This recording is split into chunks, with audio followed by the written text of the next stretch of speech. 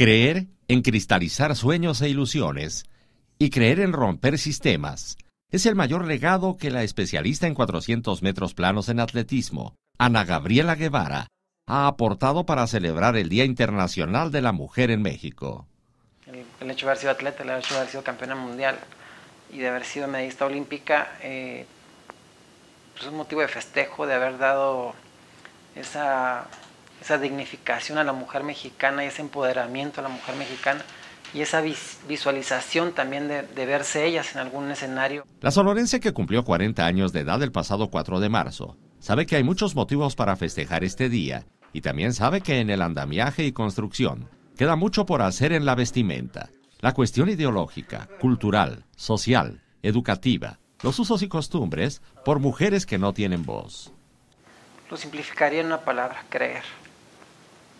Yo creo que eso ha sido la mayor contribución que le, que le he dado a, a, niñas, adolescentes y a mujeres maduras y adultas en, México, creer. Pues yo creo que el, el mayor logro fue el, el de como mujer haberme metido en una disciplina que, que no había referencia y haberle demostrado al propio sistema que sí era posible. La actual senadora destacó que seguirá en política. Nada está escrito en política y mencionó que no está peleada con el destino. Con información de José Luis Simón e imágenes de Víctor Barbosa, Notimex.